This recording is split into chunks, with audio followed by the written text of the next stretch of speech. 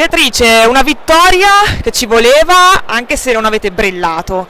Eh, tu come ti sei sentita e come puoi commentare questa partita contro il Ghent?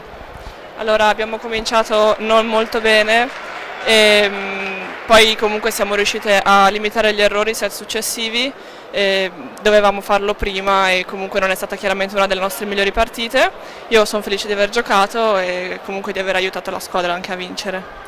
Ecco, dopo 2-3 0 ci voleva questa vittoria, giusto? Sì, sì, certo, ci voleva una vittoria. Non è stata proprio netta comunque come doveva, come sarebbe stato meglio, insomma, e quindi ci voleva comunque. Ecco. Adesso sabato una partita ormai vicinissima perché tra due giorni contro Monza bisogna ripartire anche in campionato. Sì, dobbiamo ripartire in campionato e cercare di eh, scalare anche un po' la classifica e quindi queste partite, le prossime due partite fino alla fine insomma, del girone d'andata sono importanti per noi anche e soprattutto per il morale.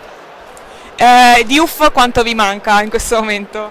Eh, certo, il suo, ehm, il suo aiuto che dà alla squadra è veramente molto importante, comunque non dobbiamo diventare dipendenti da, da un giocatore, quindi questo ci insegna anche a dover eh, cercare di trovare delle soluzioni anche senza di lei.